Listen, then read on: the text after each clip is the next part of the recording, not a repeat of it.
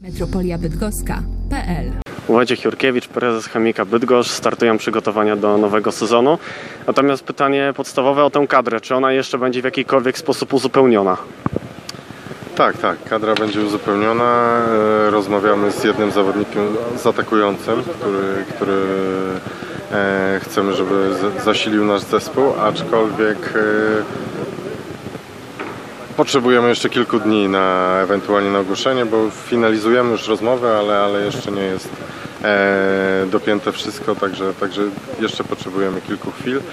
Na pewno ta pozycja e, A zostanie... tylko wejdę w słowo, możesz ujawnić, to jest Polak, czy to jest obcokrajowiec? Nie, nie, mówimy o zawodniku obcokraj... o zagranicznym zawodniku, ale mówię o szczegółach, na szczegóły przyjdzie, przyjdzie jeszcze czas, ponieważ e, jesteśmy już blisko ostatecznych e, decyzji, ale, ale jeszcze nie jest wszystko zaakceptowane. Znaczy nie ma ostatecznego podpisu, także jeszcze nie możemy nic mówić. E, ale, ale to wzmocnienie na, na ataku, na pozycję atakującego. E, No i cały czas jeszcze obserwujemy oczywiście rynek, ale, ale to wszystko jest uzależnione od e, naszych możliwości finansowych. Także jeżeli e, w miarę szybko nastąpią zmiany w, tym, w tej płaszczyźnie, to, to będziemy starać się jeszcze uzupełnić.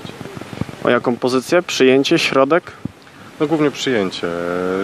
Środek też, e, też jest blisko jeszcze do koptowania jednej, jednego zawodnika. Na pewno będzie to czteroosobowy zespół na środku, E, ale, e, ale to też jeszcze chwila, chwilę czasu potrzebujemy. Natomiast w miarę możliwości naszych finansowych będziemy też szukali przyjmującego, takiego ofensywnego przyjmującego który mógłby nam pomóc, e, ale tak jak mówię, no to jest już nuta przyszłości, obserwujemy cały czas rynek, ale też e, weryfikujemy to wszystko poprzez nasze e, po prostu możliwości finansowe.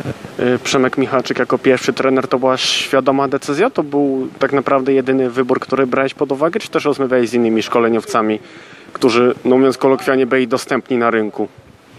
Znaczy tak naprawdę to i ten zespół, większość tego zespołu, czy w zasadzie no, e, cały zespół, zarówno i sztab szkoleniowy był e, budowany jeszcze przed, przed zmianami. Także tutaj e, brałem też udział w, w konsultacjach, że tak powiem, odnośnie budowania zespołu w trakcie jeszcze rozmów dotyczących przejęcia akcji.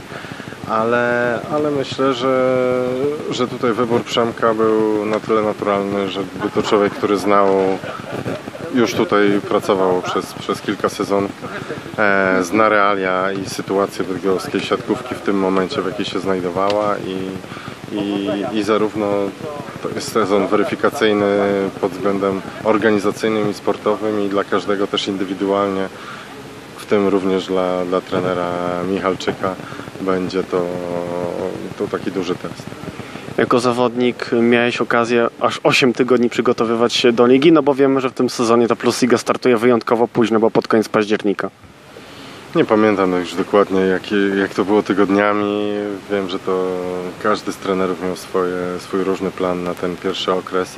E, tutaj e, trener Michalczyk czy sztab szkoleniowy postawił na, e, na tego typu rozwiązanie. Liga zaczyna się dość późno, przygotowania też, też ruszają e,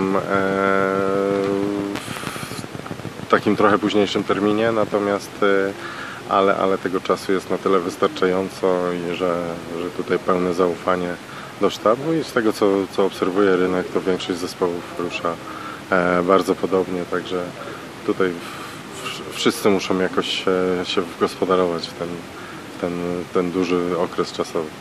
No i trudno nie zapytać o cel tego zespołu na ten rozpoczynający się sezon, no bo wiemy, że od tego sezonu zasada awansów i spadków zaczyna obowiązywać, więc no będzie z pewnością gorąco na tym dole ligowej tabeli. Już w zasadzie w zeszłym sezonie też już była, natomiast sytuacja ze Stocznią z Szczecin spowodowała, że, że tego spadku nie było. No tak jak już powiedziałem, jest to mocno weryfikacyjny dla nas sezon. Zarówno organizacyjnie, jak i sportowo i, i każdy e, na każdym obszarze potrzebujemy, potrzebujemy bardzo dużo pracy sportowej do tego, żeby wszystko się, ta, ta zmiana, która, która weszła w życie, e, w bydgoskim klubie, żeby mogło to funkcjonować i krok po kroku stabilizować jej sytuację, potrzebujemy plus ligi, tak kolokwialnie, czy, czy po prostu e, mówiąc, e, potrzebujemy utrzymania, także to jest, e, to jest jak dla mnie główny cel w tym momencie, bo, bo to jest jeden, pierwszy krok do tego, żeby, żeby te zmiany zaczęły, znaczy nadal funkcjonowały. No i tak już na sam koniec to pytanie o kwestie związane z licencją, bo z tego co wiem do końca lipca trwa ten cały proces licencyjny.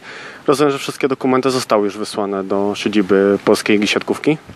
Tak, wniosek został złożony do 31 lipca, tak jak, e, tak jak to było przewidziane w regulaminie, natomiast teraz komisja licencyjna obraduje i do 30 dni mamy poznać e, jej decyzję. metropoliabydgoska.pl